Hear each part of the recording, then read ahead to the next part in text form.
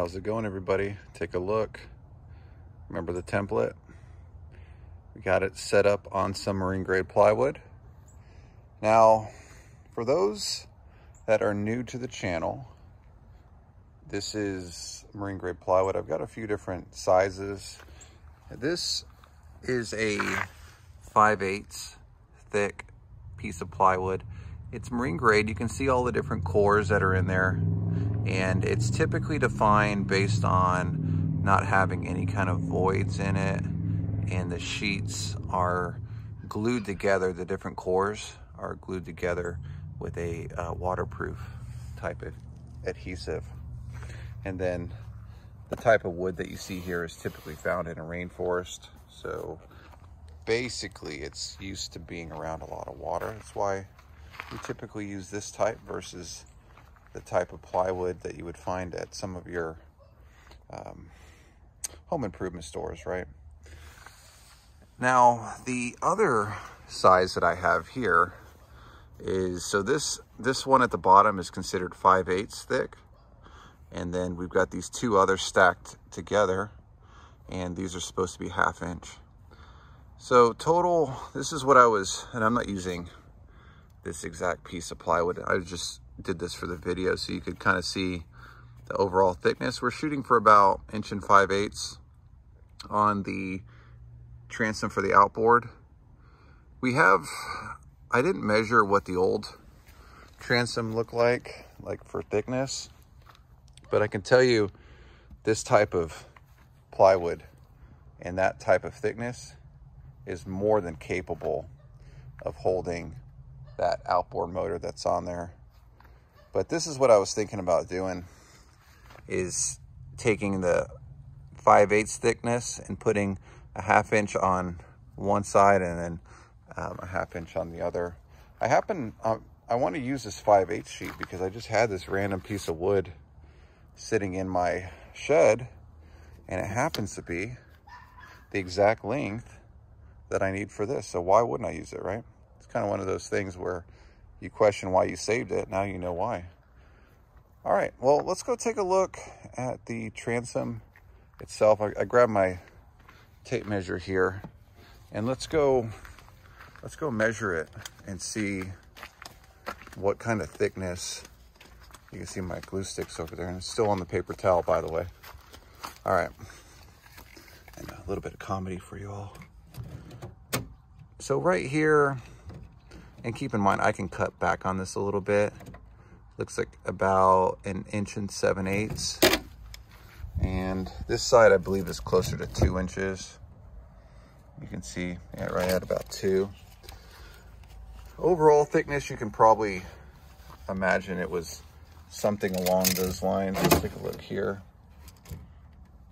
This is about an inch and a half. So what that tells you is you know for a fact, right, that the original transom wasn't any thicker than an inch and a half. And we're planning on doing an inch and five eighths. So I feel pretty good about that. I'm not worried about it. And plus we're using a way more superior type of wood uh, when we put this together.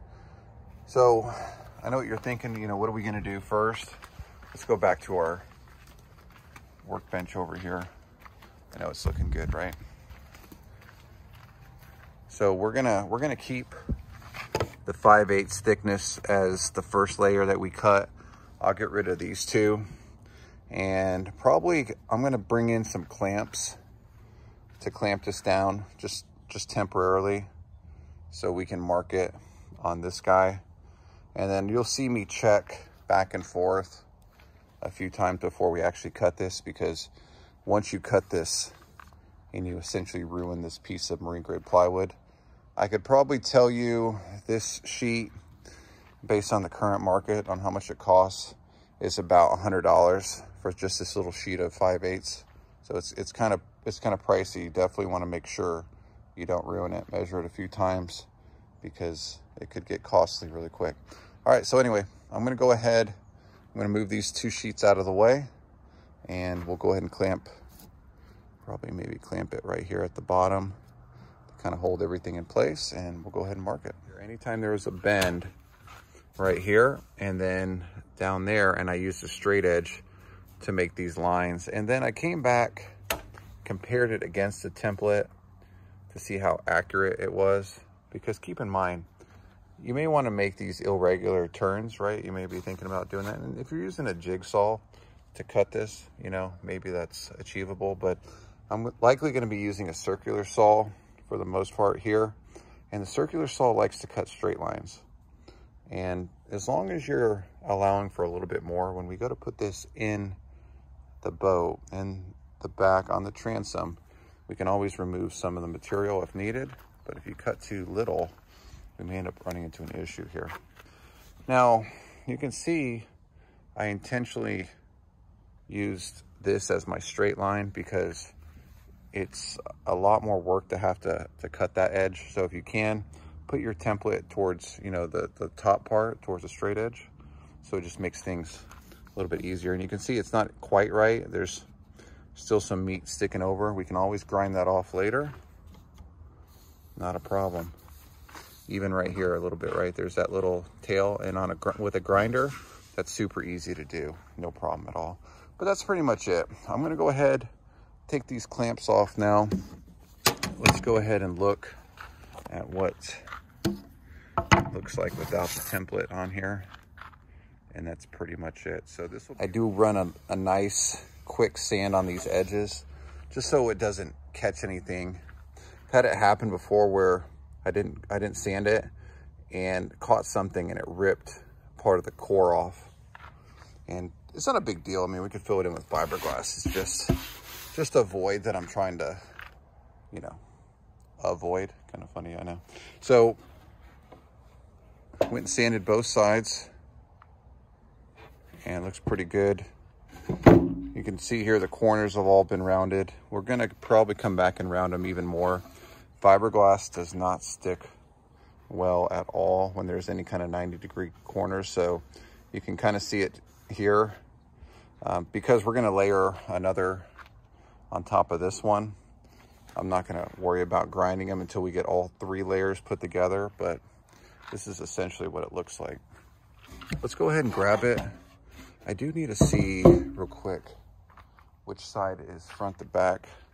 So let's go over here and grab my template.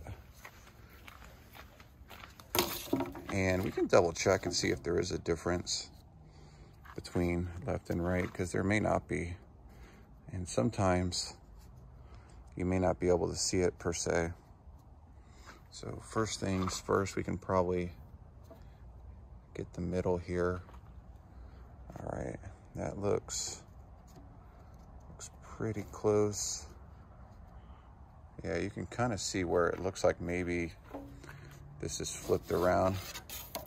So I did not check. Actually, no, I take it back. This line was on.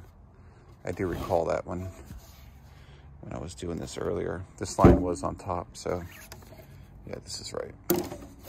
But we will flip it over here just to see if it is. It's the same. And ultimately, when we put it in the boat, we'll see if everything matches up.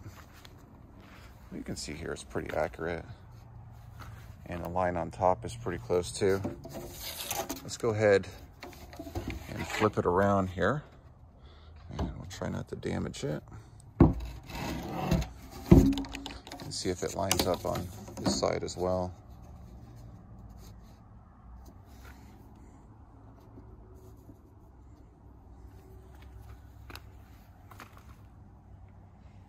Looks like it's pretty accurate, I would say.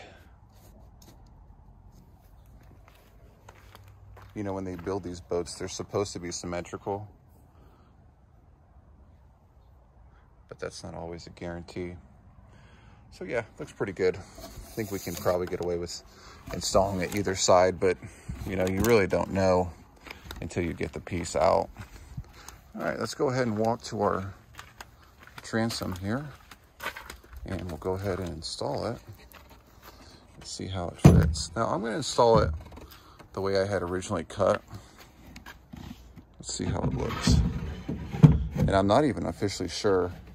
I'm trying to do this one live for you all so you can kind of see how how I do it, just in case you're trying to do it yourself.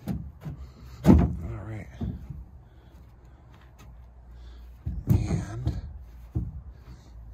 as you can imagine, with these first rough cuts, kind of tells you a few different things. Number one, look how warped this actual outer shell is.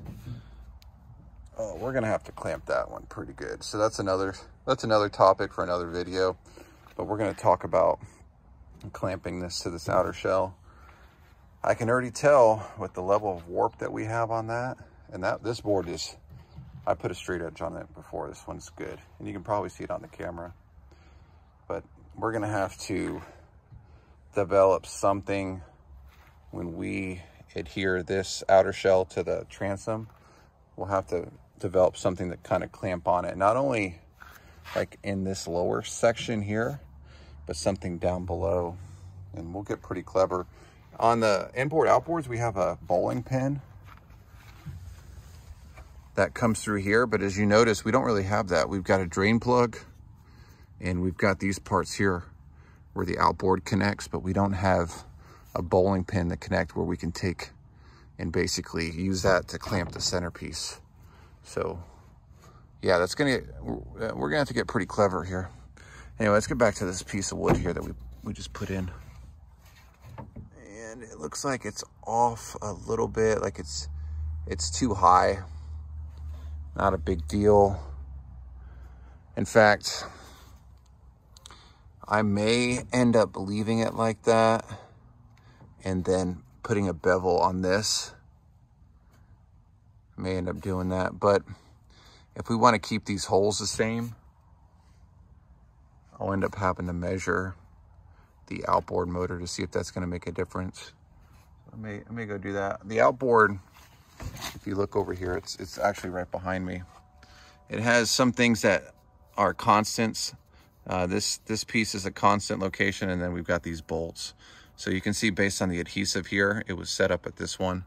So if we do need to move it up or down a little bit to adjust where it sits on it, it's not a big deal. And then this one at the bottom, this is the adjustable one.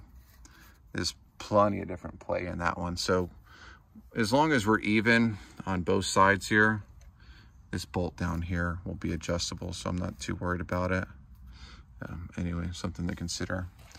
All right, so getting back to this transom here, I feel pretty good about it. I'm, I don't know, I may cut some more off this top. It's just hard to keep a straight edge when you're using a saw anyway. Even, you know, if you have a table saw, probably easier to do. I may put it on a table saw and take about, what do you think? I'll have to measure it. it looks like about maybe a quarter, half inch off the top. And then maybe put it back in there. Probably end up doing that. Try to make as uh, the less amount of work as possible. Let's go take a look on the inside. Oh yeah, you can you can see down below. Looks good. Um, it's a, sitting a little too high on that section. Let's go ahead and get in here and see if we need to adjust it a little bit. Um, actually, it is sitting flush there. And it looks good. And even on that side. Yeah, it looks good. And